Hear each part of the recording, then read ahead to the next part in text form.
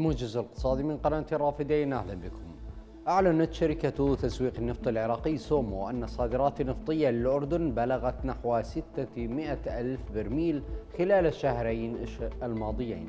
وأظهر جدول أصدرته الشركة أن الصادرات النفطية العراقية للأردن خلال شهري كانون الثاني وشباط من العام الحالي بلغت 590,298 برميل نفط. بإيرادات بلغت 39 مليون و336 ألفا و625 دولارا. ووافق العراق على اتفاقية توريد النفط مع الأردن لمدة سنة جديدة في إطار التعاون بين البلدين.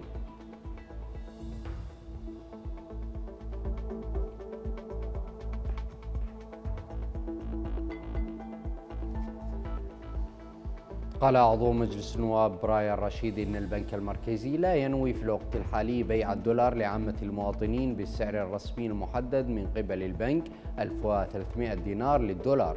وذكر الرشيد أن محافظ البنك المركزي أبلغه باستمرار البنك في بيع الدولار بالأسعار الرسمية لغرض السفر والعلاج وتكاليف الدراسة فقط بينما ليس لديه أي نية بالوقت الحالي لبيع الدولار بالسعر الرسمي للمواطنين. هذا ويتجاوز سعر صرف الدولار في العراق 155 ألف دينار لكل 100 دولار وذلك عقب إجراءات فرضتها الولايات المتحدة على المصارف العراقية للحد من تهريب الدولار إلى إيران. أعلنت هيئة المنافذ الحدودية القبض على ثلاثة مسافرين بحوزتهم 522 بطاقة ماستر كارد دولية معدة للتهريب في منفذ مطار البصرة الدولي.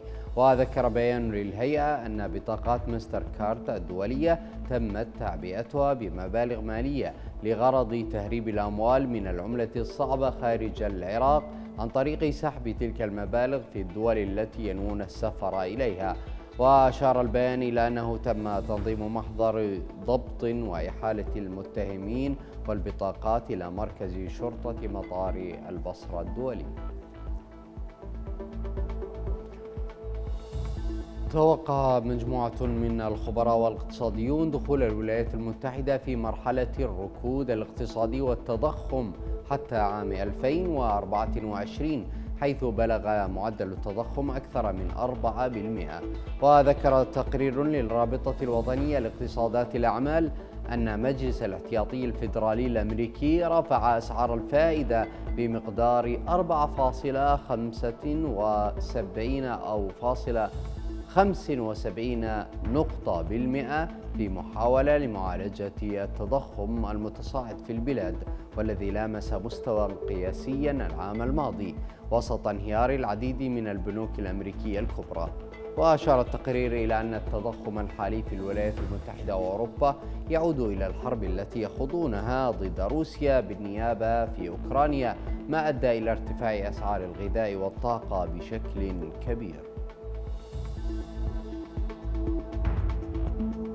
قالت مديرية النقد الدولي كريستيانا غورجيفا إن على الدول التي تتمتع بوضع أقوى نسبيا مساعدة الدول الضعيفة خاصة تلك المثقلة بالديون.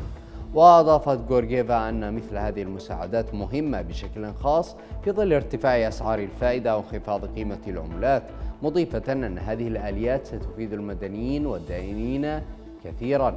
وأوضحت غورجيفا أن على الدول أن تعمل معا لتنشيط التجارة الدولية بطريقة عادلة لكي يستفيد عدد كبير أو لكي يستفيد عدد كبير من الناس من العولمة وتنويع سلاسل التوريد استنادا للمنطق الاقتصادي.